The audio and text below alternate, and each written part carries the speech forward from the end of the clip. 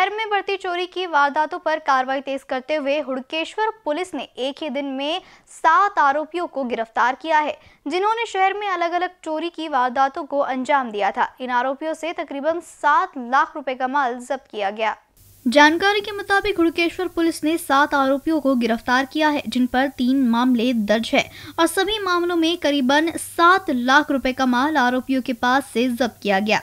बताया जा रहा है कि पहला मामला गत तीन जुलाई का है, जहाँ उड़केश्वर थाना क्षेत्र में आरोपियों ने एक मोबाइल की दुकान में चोरी की वारदात को अंजाम देकर करीब 24 मोबाइल उड़ा लिए। इस मामले में हुड़केश्वर पुलिस ने चार आरोपियों को गिरफ़्तार किया। आरोपियों से सभी चुराए गए मोबाइल फ़ोन भी जब्त किए गए। पुलिस द्वारा बताया गया है कि अगर इस मामले में जरा सी भी देरी की गई होती तो ये सभी मोबाइल फ़ोन बेच दिए जाते और इन तक पहुँचना पुलिस के लिए मुश्किल हो जाता। पुलिस ने इस मामले में मिला सारा सामान अपने कब्जे में ले लिया है। बताया जा रहा है कि मोबाइल चोरी की इसी वारदात को अंजाम देने वाले इन चार आरोपियों ने हुड़केश्वर परिसर में भी एक घर में चोरी करने की वारदात को अंजाम दिया था, जहाँ सोने चांदी के आभूषणों और नकद कीमत के सहित करीबन दो लाख रुपए का माल आरोपियों ने चुरा लिया था। इसी मामले में इस्तेमाल किए गए वाहन को भी पुलिस ने जब्त किया है।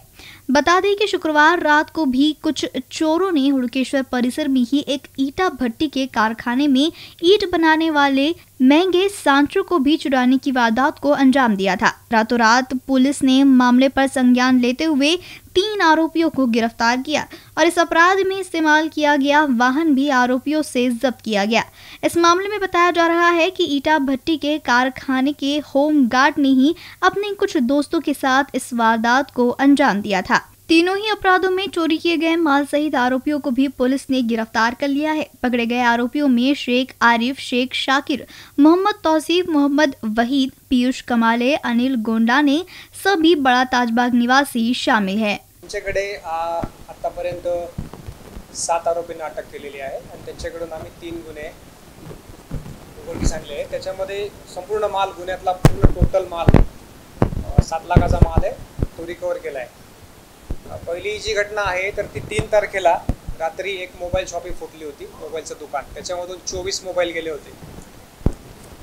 तर त्याच्या तपासामध्ये आम्ही आतापर्यंत चार चार आरोपींना अटक केली आहे. त्यांच्याकडून संपूर्ण मुद्देमाल रिकवर केला आहे तो गुन्हा उघडकीस करताना अत्यंत म्हणजे सरळ पद्धतीने आणि सगळे सोर्स वापरून केलेला आहे. त्या गुन्ह्यामध्ये जर समजा थोडा उशीर झाला असता तर हे सगळे मोबाईल पूर्ण भारतभर वाटले गेले असते किंवा विकले गेले असते आरोपींकडून आणि ते रिकवर करणे फार अशक्य होते. त्याच्यामुळे ती एक रिकव्हरी आमच्यासाठी फार महत्त्वाची तो गुन्हा उघडकीस आणला आम्ही. त्यानंतर त्याच आरोपींनी काही दिवसापूर्वी घरफोडी केली होती. त्याच्यामध्ये जवळजवळ दोन लाखाचा मुद्देमाल होता.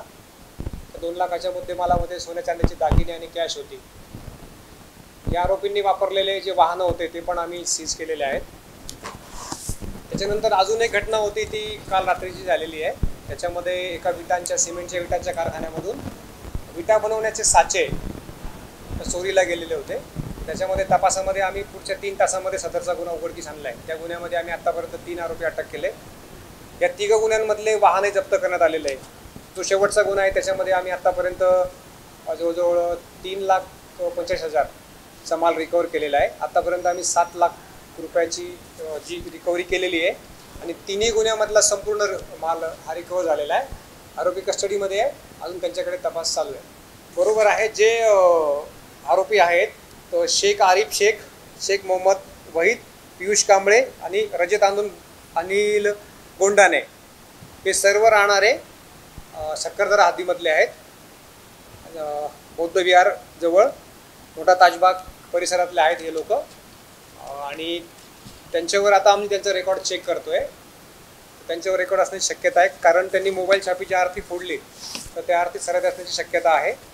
त्याचप्रमाणे जो रात्रीचा गुन्हा आम्ही ओपन केला होता सकाळी स- तो गुन्हा उघड होऊन अवघी आता पाच सहा तास झालेले आहेत. त्याच्यामध्ये आमची तपास चालू आहे चौकशी चालू आहे.